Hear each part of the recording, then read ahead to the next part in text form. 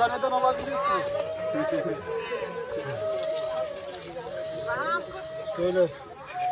Maşallah. Hep beraber mi sağıyorsunuz bu sürü herkesin sürüsü mü var burada? Evet. Tüm köyün sürüsünü böyle sayıyorsunuz değil mi? Bakın bir. Herkesin böyle e, ayrı ayrı. Hadi bakalım. Kulağından da işaret koymuş Bizde herkes bizde de kendine bizde de göre. öyle. Her ailenin işareti farklı olur. Hadi bakalım. Tarımdan da tabii. yaptırmışız. Tamam.